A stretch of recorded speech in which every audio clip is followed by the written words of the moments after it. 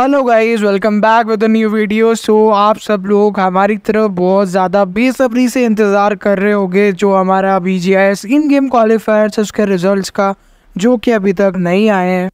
सो आप सभी लोग हमारी तरफ़ वेट कर रहे हो बहुत टाइम से रिजल्ट्स का और रिज़ल्ट जो है अभी तक नहीं आए हैं।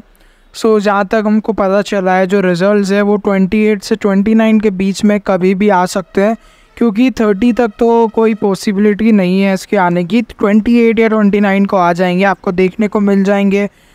मेल सेक्शन में अगर मेल पे नहीं आता है तो आप जाके ऑफिशियल वेबसाइट पे जो आप पे डैशबोर्ड है वहाँ पे देख लेना। एंड आप लोगों के बहुत सारे क्वेश्चन में से एक क्वेश्चन ये था कि बहुत सारी टीम यहाँ पे जो है सिंबल की वजह से डिस्कवालीफाई हो रही है। सो so, पिछली बार भी बहुत सारी टीम्स यहाँ पे डिस्कवालीफाई हुई थी सिंबल की वजह से। सो so, इस बार भी शायद हो सकती है। अगर ज़्यादा स्ट्रिक्ट यहाँ पे जो है चेकिंग नहीं हुई तो शायद बहुत सारी टीम का जो है लक अच्छा रहा तो वो यहाँ पे क्वालिफाई कर जाएगी। एंड आपको नेम चेंज करने की कोई भी ज़रूरत नहीं है अगर आप क्वालिफाई कर लेते हो।